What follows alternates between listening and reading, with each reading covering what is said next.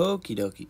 Second example for this problem. If you'd like more of a breakdown, please visit the first example. I'll go into a little more depth in this problem. Uh, specifically, I'll actually do a second, third, and fourth example for this type of problem just to knock them all out, just so you can see a few different cases in one sitting. So in this problem, they say there are initially 26,000 people and they say individuals can be infected multiple times. What does this mean? This means that we can eliminate any answers that don't have r equals 0 as part of its answer because r represents the number of individuals who are resistant. And if they tell us that individuals can be infected multiple times, even after getting better, then that means no one is resistant to this disease, which, or to both diseases, which is crazy. All right. So it's either B or C. And then we just need to calculate the number of susceptible individuals. So starting with the initial 26,000 population, we are just going to subtract the number of people who are currently ill because the number of people who are ill are not susceptible at the moment.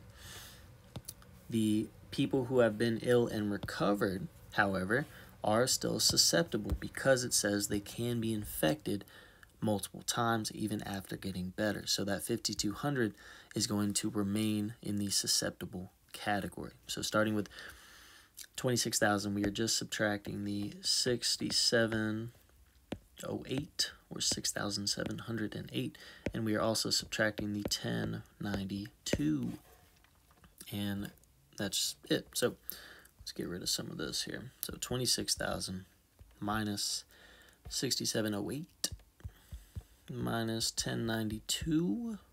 Perfect. All right. So we have 18,200, which is one of the answers. It looks like B is our answer. So break out the eraser. We see B is our answer. All right. Let's jump to number three or example three. Uh, let's see. All right.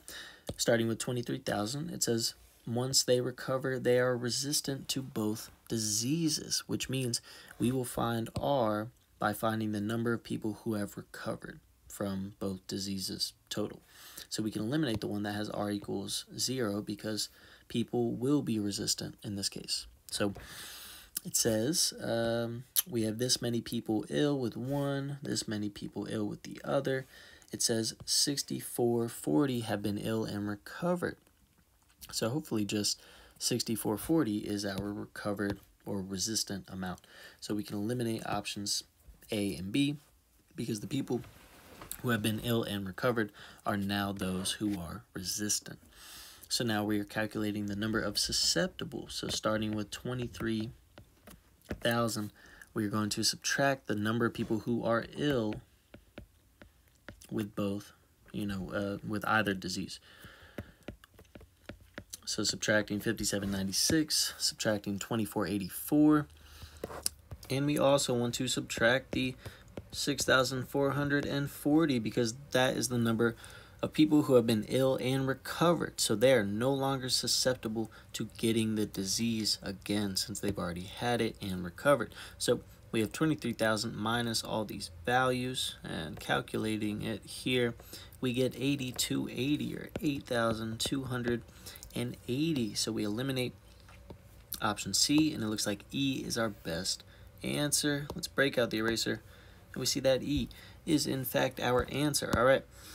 Example number four we are starting with 20,000 people. There's two different diseases but they can be infected multiple times. So because they can be infected multiple times, the R value, that represents the number of individuals who are resistant, must be zero because nobody is resistant to this disease if they can get it multiple times, if they can be infected multiple times. So we eliminate all the options where R is not equal to zero. So between A or C, we are finding the number of susceptible individuals. So always starting with the total always subtracting the number of people who are currently ill with either disease, so 3256 and 1144. And then because um, the rest of the town has been ill and recovered, However, they can be infected multiple times. They are still susceptible to getting either disease.